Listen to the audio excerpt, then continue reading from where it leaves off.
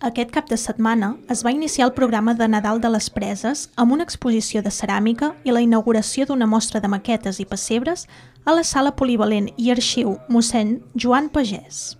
El primer dels actes va ser a càrrec de l'artista Jordi Pagès Traveria, que va presentar la seva obra al públic assistent i va mostrar el procés creatiu d'algunes de les peces. Fa doncs, uns 10 anys o així que, que tinc el meu propi taller i treballem amb l'Ariana, la meva companya, i allà fem doncs, les creacions. Fem moltes coses diferents, dins de peça decorativa, amb aplicacions um, per, uh, per la decoració, com peça escultòrica, encàrrecs.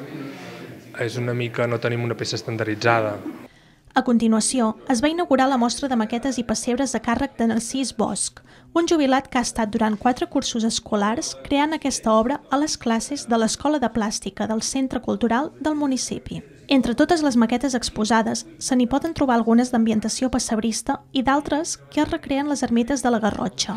Vaig començar a pintar aquí les preses. Després de pintar vaig voler provar les maquetes i és això. Les dues exposicions romandran exhibides al centre fins passades les festes de Nadal.